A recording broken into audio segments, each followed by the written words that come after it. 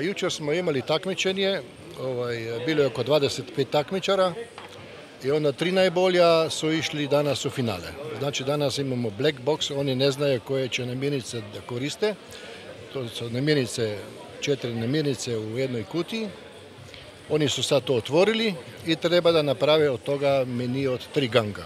Znači jedno predjelo, glavno jelo i desert. Zato imaju oni dva i sata za rad, a pola sata prije su imali za pripremu recepta i da napišu namirnice koje će raditi tako.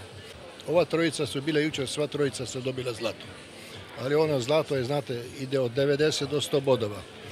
Oni su bili tamo 94, 95, 96.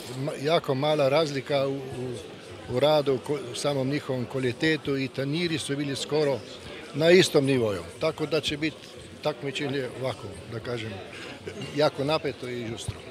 E, juče smo se borili nas 30 takmičara, radili smo svi jela od ransteka, znači e, bilo je interesantno vidjeti kako nas 30 razmišljamo o tom komadu mesa. Međutim, nas troje je prošlo, osvojilo određeni broj bodova i danas se borimo u black boxu. Black box je u stvari tajna kutija, znači mi ne znamo šta nas tamo čeka, znamo samo da prosto dobijamo te neke glavne namirnice kojima se moramo rukovoditi i to će biti interesantno vidjeti kako će se nas troje snaći u boksu, šta ćemo uzeti od namirnica šta sad ćemo iskoristiti. Spremamo tri jela, imamo sat i nešto vremena.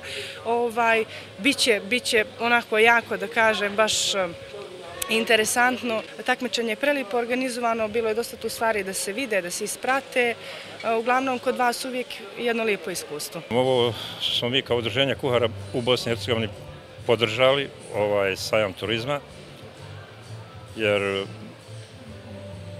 hoćemo da dignemo na malo veći nivo o sve ovo što se događa u Skanderiji u novembru mjesecu, odnosno kad je sajem turizma.